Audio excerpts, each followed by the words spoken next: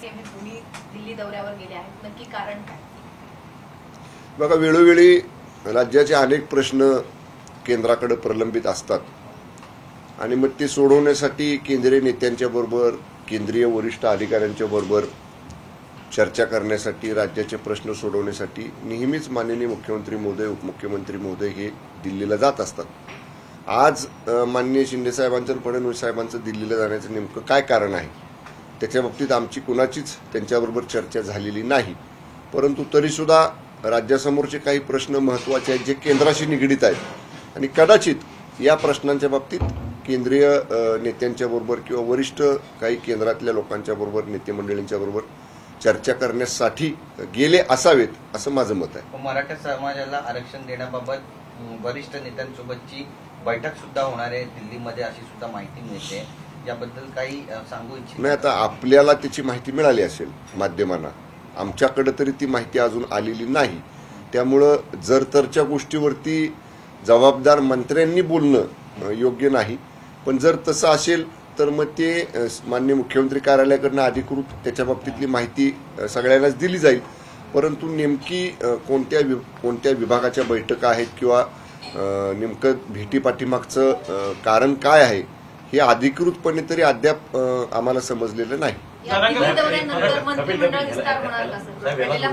मंत्रिमंडळ विस्तार लवकरच केला जाईल असं माननीय सीएम साहेबांनी आणि दोन्ही माननीय डीसीएम साहेबांनी सांगितलेलं आहे.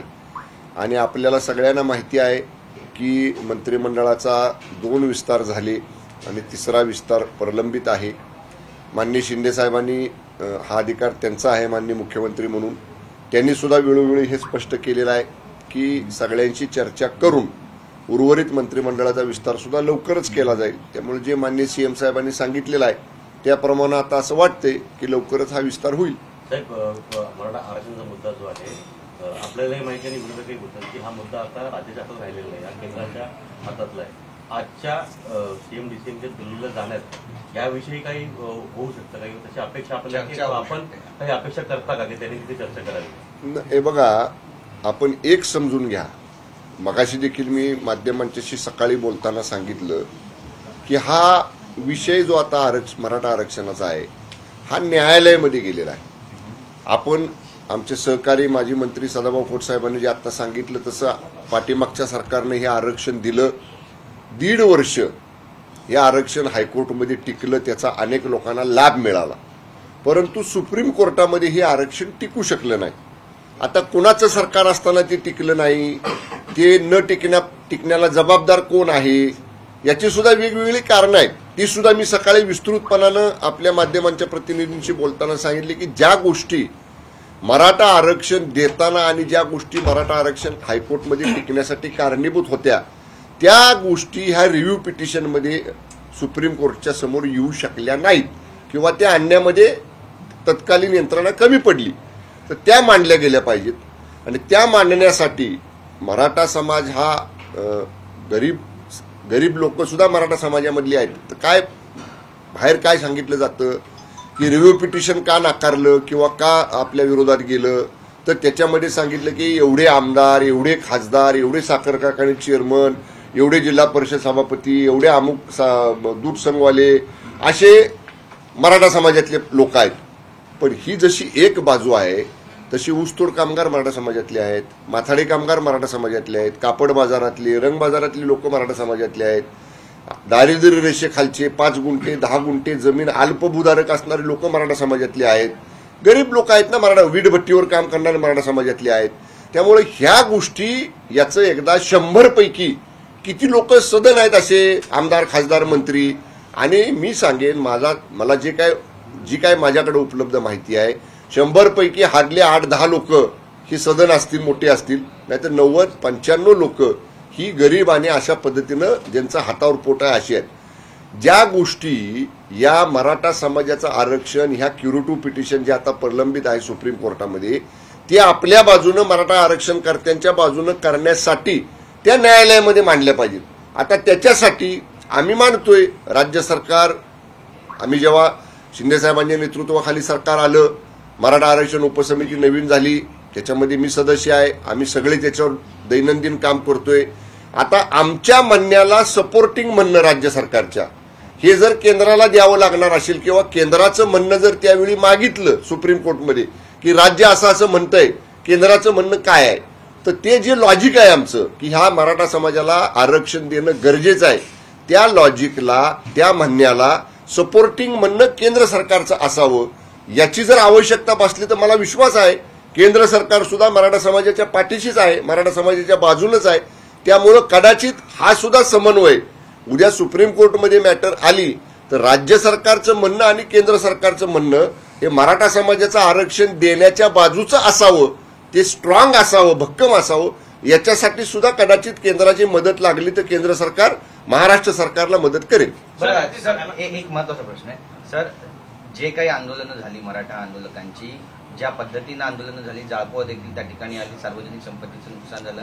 आता मागणी केली जाते की बेचाळीस दिवस झाले मुख्यमंत्र्यांनी आश्वासन दिलं होतं की सर्व गुन्हे जे आहेत ते मराठा तरुणांवरचे मागे घेतले जाणार. अजूनही ती प्रोसिजर सुरुवात झालेली नाहीये.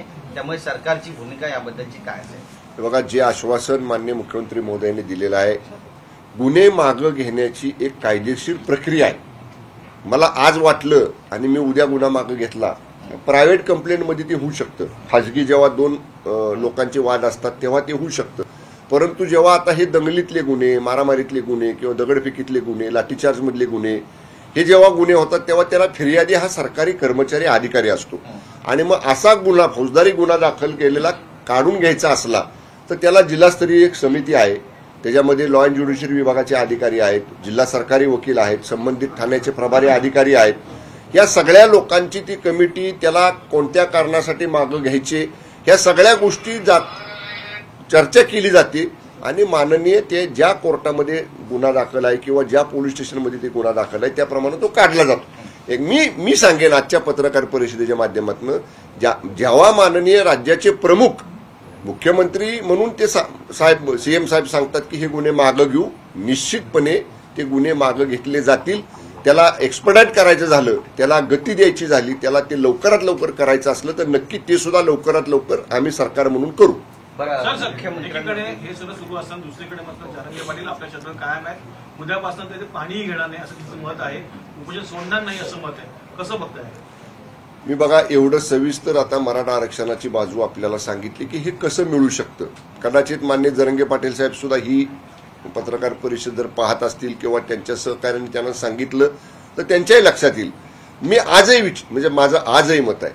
जरांगे पाटील साहेब म्हणतात तसं एक जी आर काढा एक मंत्रिमंडळाचा ठराव करा आणि मराठा आरक्षण द्या.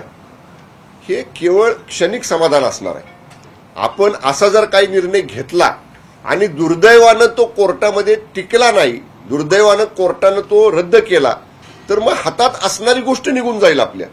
म्हणून माझं म्हणणं आहे की ज्यावेळी राज्याचे माननीय मुख्यमंत्री स्वतः दोन चार लाख लोकांच्या समोर छत्रपती शिवाजी महाराजांची शपथ घेऊन सांगतात कालच्या दसरा मेळाव्यातली माननीय मुख्यमंत्री महोदयांनी घेतलेली शपथ असेल दोन दिवसापूर्वी दुर्गा मातेच्या दौर मंडळांना भेटी देत असताना दुर्गा मातेच्या मंदिरामध्ये म्हणजे सभामंडपामध्ये दुर्गेश्वरीच्या मूर्तीसमोर माननीय मुख्यमंत्री महोदयांनी सांगितले की मी या दुर्गा मातेच्या मंडपामध्ये बसून महाराष्ट्राला शब्द देतोय. एवढं जे आरती तळमळीनं अंतकरणा द यंगेस्ट असं त्यांनी मला सांगितलं. तर अ, इतकी वर्ष सर याच्यात बद्दल तुम्ही म्हणताय की कोरोना पश्चात अं, एक आपल्यावर हे परवडत नाही शिर प्रक्रिया पूर्ण करायला वेळ दिला पाहिजे. तुम्ही म्हणाल मग मागच्या चाळीस दिवसात तुम्हाला वेळ दिलता तुम्ही काय केलं? जस्टिस शिंदे समिती नेमली. हे बघा आपल्याला जेव्हा ह्या गोष्टी ऑन रेकॉर्ड आणायच्या आहेत तेव्हा त्याला सपोर्टिंग डॉक्युमेंट्स असले पाहिजेत. जस्टिस शिंदे समितीला जे काम आहे ते जस्टिस शिंदे समितीचं काम चालू आहे. प्रत्येक विभागात ते जात आहेत. त्यांना लागणाऱ्या घटकांच्या बरोबर वेगवेगळ्या समाजातल्या प्रतिनिधींच्या बरोबर जस्टिस शिंदे समिती बोलते आहे. डॉक्युमेंट्स कलेक्ट करते आहे? सगळ्या यंत्रणा राज्य सरकारच्या सगळ्या विभागीय आयुक्तांना सगळ्या जिल्हाधिकाऱ्यांना आपण आदेश दिलेले आहेत की जस्टिस शिंदे समितीला जे जे डॉक्युमेंट्स लागतील ते ते डॉक्युमेंट्स ऑन टॉप प्रायोरिटी तात्काळ उपलब्ध करून द्या. हे सगळं त्या ढाच्यामध्ये बसलं पाहिजे.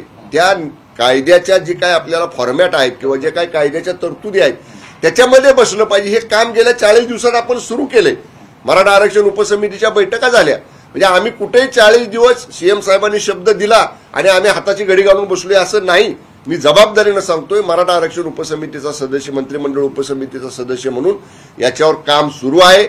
सुदैवानं जे क्युरिटी पिटिशन प्रलंबित होतं ते माननीय सुप्रीम कोर्टानं आता दाखल केलंय. आणि ते आता लिस्टेड होईल बोर्डावरती.